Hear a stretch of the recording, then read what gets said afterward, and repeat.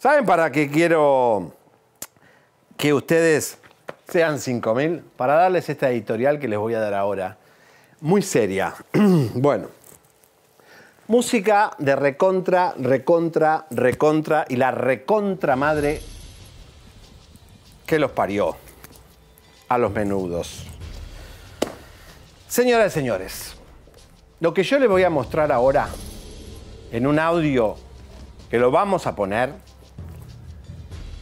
refleja en este audio y esas frases que va a escuchar usted aquí, antes de ir a todo lo que tenemos de menudo,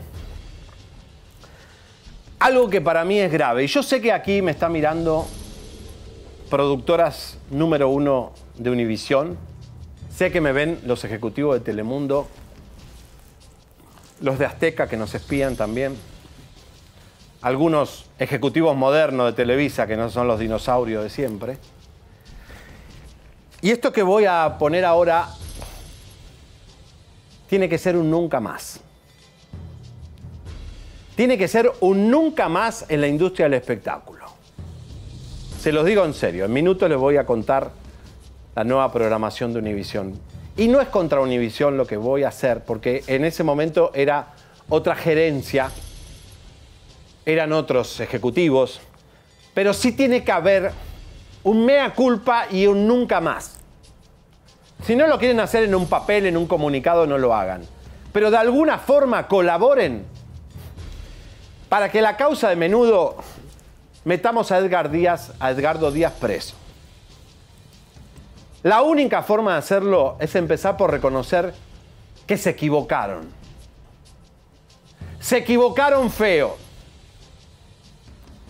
Porque yo analizo todo lo que pasó, los tres documentales que hay de menudo, las denuncias, las no denuncias, el silencio de Ricky Martin. Yo veo todo y ahora vamos a ver las consecuencias graves que dejó menudo en cada integrante. Porque después vamos a sacar la verdad. ¿Cómo quedaron cada uno de esos chicos? El lavado de imagen que le hizo Cristina Saralegui en Univisión a Edgardo Díaz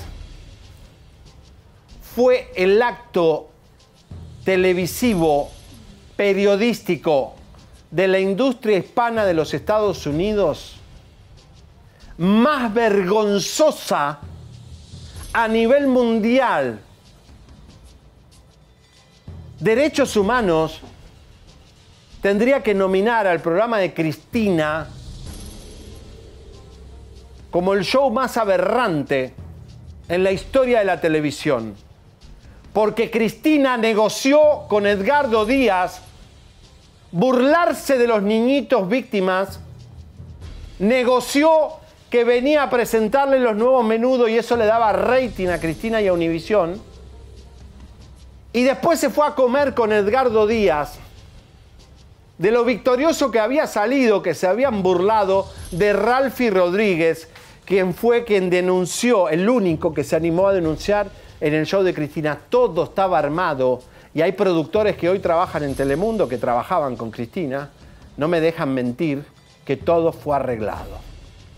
Cristina lavó una red de molestación a niños más grande en la historia del espectáculo. Y hoy esa mujer no puede dormir en paz. Por eso se volvió alcohólica se volvió alcohólica porque el alcohol tenía que anestesiar la culpa de haber participado de una aberración. Y cuando ella ve a sus nietos ahora, viejita y gordita, ¿cómo está? Tiene que sentir culpa. Porque ella al final del programa manipuló la información y se fue con su editorial a favor de la bestia. ¿Creen que no? Les voy a poner la última frase de ese día, de ese show de Cristina, donde ella lo acusa al niño y esto desmoralizó a todos los menudos y por eso no denunciaron más por Cristina Salegui. Miren. Con el poderoso caballero Don Dinero, es enemigo de todos. Cuidado con el poderoso caballero Don Dinero, es enemigo de todos. Cuidado con el poderoso caballero Don Dinero, que es enemigo de todos. Ahí estaba la presentadora en ese momento número uno de la industria latina en los Estados Unidos, la reina del talk show, favoreciendo y aplastando a este pobre muchacho, Ralphie Rodríguez, diciendo que había hecho todo esto por dinero. Cristina, yo no te la perdono. La verdad, me da mucho asco y no te la voy a perdonar. Ojalá antes que te mueras de este mundo pidas perdón. No tiene nada de malo. Perdónenme, me equivoqué. Porque Edgardo Díaz tiene que ir preso, al que defendiste en tu programa, y te fuiste a comer a su casa. Victoriosa que habías tenido rating y habías tenido los nuevos menudos, fuiste parte de una red de lo que ya sabes. Cuando veas a tus nietos, acordate de esto. Nunca más Univisión permitan un talk show así. También deberían pedir disculpas. No, no son la, gerencia de ahora, pero es la misma empresa. Señoras y señores, agarramos a Edgar Díaz, a Edgardo Díaz, perdón que diga Edgar, pero para nosotros en inglés es Edgar, es Edgardo Díaz. Pensábamos que estaba en Puerto Rico. Y les voy a decir algo a las fans que es muy duro. Elisa, fan de menudo, mucha gente fan de menudo.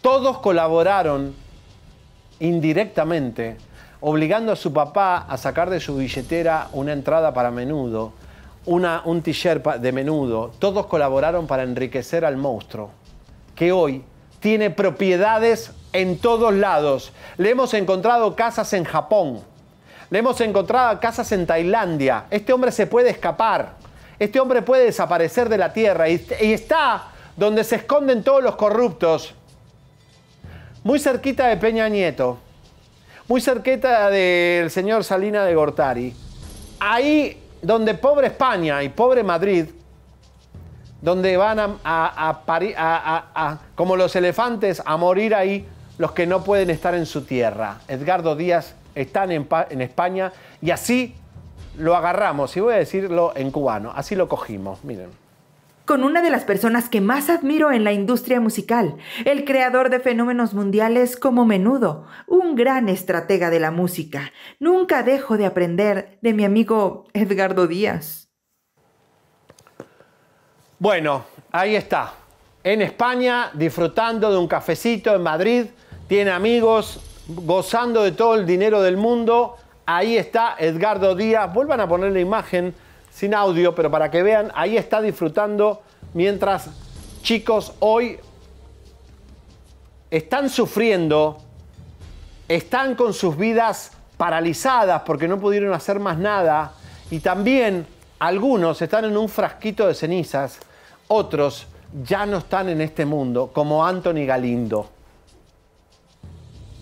Se nos fue Anthony Galindo en medio de la pandemia, y no fue la depresión de la pandemia, no fue la depresión de, estar sin trabajo. Ese hombre se fue por Edgardo Díaz. Él lo mató. Él lo mató. Lo que pasa que el efecto tardó 50 años, pero ese veneno estaba ahí en la sangre como está en la sangre de todos, como biopolímeros, está toda esa bronca y ese odio y esa frustración hasta que Edgardo no esté preso. La viuda de Anthony Galindo va a romper el silencio en un especial de Telemundo el domingo, pero nosotros queremos recordar hoy a otro de los menudos que no la pudo contar ni en un documental. Vamos a ver. Son muchos los menudos que sufrieron aberraciones y maltratos por el fundador del grupo Edgardo Díaz.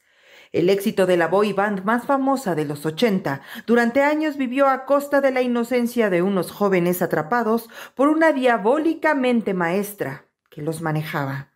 Roy Rossello ha abierto nuevamente la caja de Pandora y ha gritado al mundo no solo el sufrimiento que vivieron en manos de ese depredador, sino las consecuencias de aquella pesadilla y de haber vivido en silencio con sus recuerdos aterradores. Varios de los integrantes de menudo viven o han vivido en eterna depresión.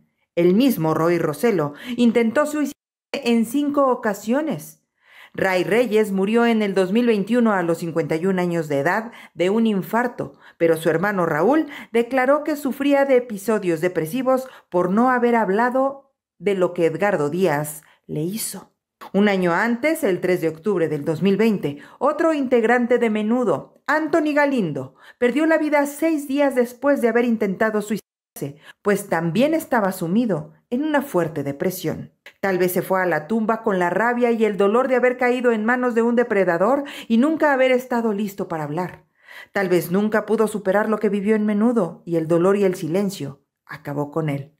Por siempre quedará la incógnita de si esta vida y la de Ray se apagaron sumidas en el dolor por no atreverse a contar su historia. Quizá algún día alguien sea la voz que ellos no tuvieron y cuenten la historia secreta que los carcomió. Bueno, Anthony Galindo habrá sido otro que cuando vio el show de Cristina y dijo, acá no podemos hacer nada, la cadena más importante de Estados Unidos está a favor de Edgardo, Cristina, la reina del talk show, la, conductora más importante en ese momento, estaba a favor de Edgardo Díaz. ¿Cómo iban a hablar? Los aplastaron, los mataron, los silenciaron. Cristina participó del silencio de todos estos chicos, que el karma le tiene que caer en algún momento. Anthony Galindo se fue y les aseguró, eh, ojalá la viuda hable todo lo que sabe. Este chico se fue por culpa de Edgardo. Como rey, Reyes también se fue, yo jugaba al dominó con él y sabemos todos, y Osvaldo también, y todos lo sabemos, por qué se fue de este mundo. Su corazón dijo basta. Cuidado. Nosotros somos Don Malo y Doña Mala, porque somos los únicos que les decimos sin miedo y de frente a los famosos y espumosos sus cochinadotas. Así que suscríbete. Caiga quien caiga. Periodismo de alto impacto, sin fronteras y sin amiguismo. ¡Vamos! Compártete. Ven al bombardeo de lunes a viernes en la brújula de la farándula chisme, no like y campanita tan tan. Premianos con tu like. Nuestra misión 24/7 es informarte. Breaking News con nuestra red de cucaraches informantes.